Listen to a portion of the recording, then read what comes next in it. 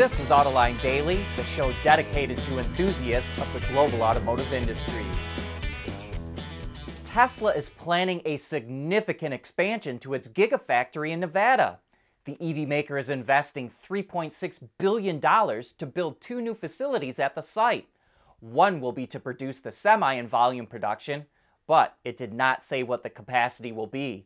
And the other is a 100 gigawatt hour 4680 battery cell factory, which will be able to produce enough batteries for 1.5 million light duty vehicles a year. The expansion will add around 3,000 new jobs as well. And since 2014, Tesla has invested $6.2 billion in the Nevada Gigafactory, and that doesn't include this new investment. And in other Tesla news, this should help out with sales. Thanks to its price cuts, all variations of the Model 3 and Y now qualify for maximum tax incentives in Germany, 6,750 euros or about 7,000 bucks. And like the US, Germany has price caps on EVs to qualify for the incentives. Factoring in both the cuts and credits, the Model 3 now costs just over 40,000 euros and the Y is just over 41,000. Tesla is currently building 3,000 Model Ys a week at its Berlin factory and it's aiming to boost that to 5,000 soon. Instead of Ford using Volkswagen's MEB platform for EVs, it looks like it could be the other way around. The head of VW's commercial division says an EV pickup, like the ID Ruggeds concept, is, quote, still on the agenda. But instead of being MEB based, it would share a platform with the current Ford Ranger, which is also the base for the Volkswagen Amarok, although it will need a fair amount of modification to go electric. Sounds like Ford will handle most of that work, and it would require at least a 110 kilowatt hour battery pack to provide enough towing and range. VW likely won't bring its version of this truck to the US. It's got Scout for that. But as we reported yesterday, Nissan is likely developing a midsize electric pickup, and we've got to believe so are the other major truck makers.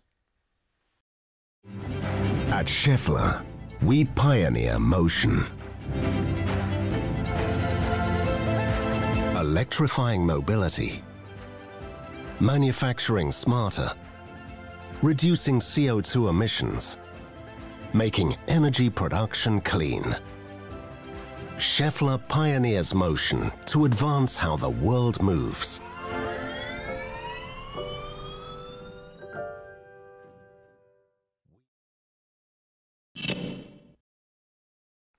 The auto industry is doing a good job of reducing greenhouse gases that goes beyond just making electric vehicles. Take the seat supplier Adient, for example. Last year, it slashed its use of water by 16 million liters. It cut 25 kilowatt hours equivalent of fuel. It got rid of 5,363 metric tons of waste and cut its electricity waste by 42 million kilowatt hours. And it also cut over 6,000 metric tons of CO2e. So, what the heck is CO2e? We had to look that up as well, and it stands for CO2 equivalent, and it includes other greenhouse gases.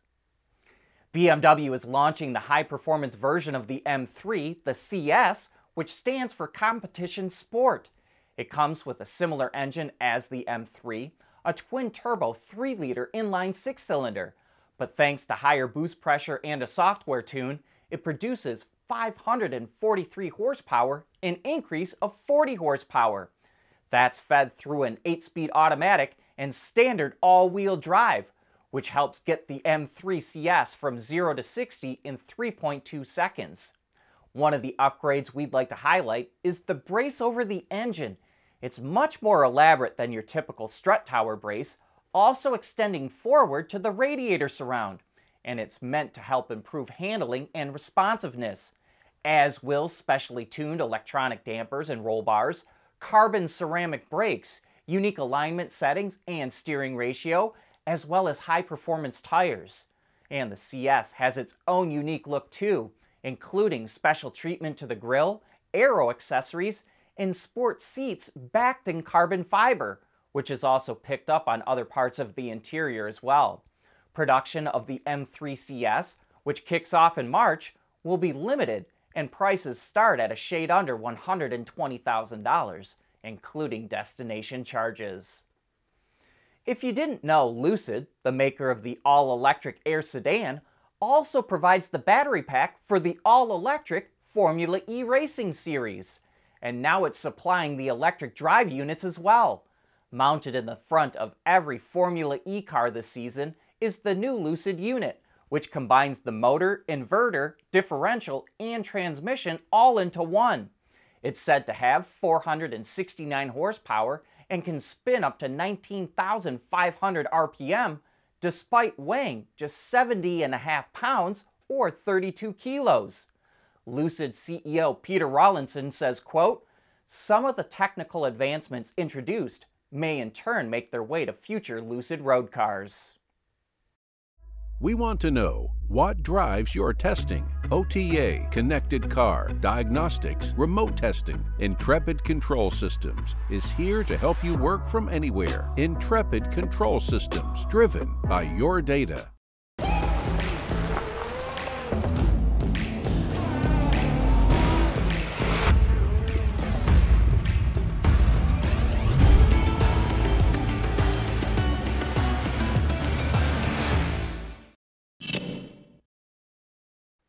As we reported yesterday, Ford is planning to shrink its footprint in Europe by cutting 3,200 jobs, mostly in Germany.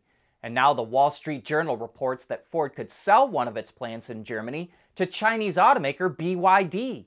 Ford executives will travel to China this month to discuss a potential deal, but it's not known how much Ford is seeking for the plant.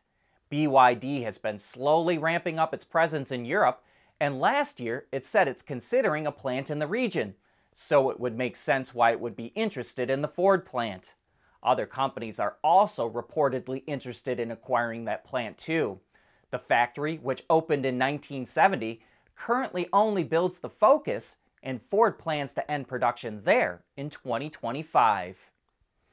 Aftermarket EV tires are better than the ones from the factory. It's typically the other way around, but according to tests done by Tire Rack, which sells and tests tires among other things, aftermarket tires for the long-range version of the Tesla Model 3 outperform the ones that originally came on the car. Specifically, it tested the Continental and Michelin tires that come on the EV and compared them to aftermarket alternatives from the same manufacturers. And in both cases, the aftermarket tires provided better traction, braking, and lateral grip, and the braking improvements were especially impressive, reducing braking distance by one to two car lengths. And it goes to show that tires can make a huge difference on EVs. As we reported in the past, switching from aggressive tires, like the ones that come on the Rivian R1T from the factory, to less aggressive tires can have a big impact on range. Could automakers ever develop new cars and trucks without making a prototype? That's the goal of a company called VI-Grade, Zero Prototypes. They make driving simulators that allow engineers to test out cars and components in the virtual world before they ever have to make any hardware. And this approach is slashing the time it takes to develop new vehicles. And this is going to be the topic on Autoline After Hours tomorrow. Michael Hoffman from VI-Grade will be on the show. So will Lindsay Brooke from SAE Engineering so join John and Gary when the show goes live at 3 p.m. Eastern Time. But that wraps up today's show. Thanks for watching, and please like and subscribe if you enjoyed the video.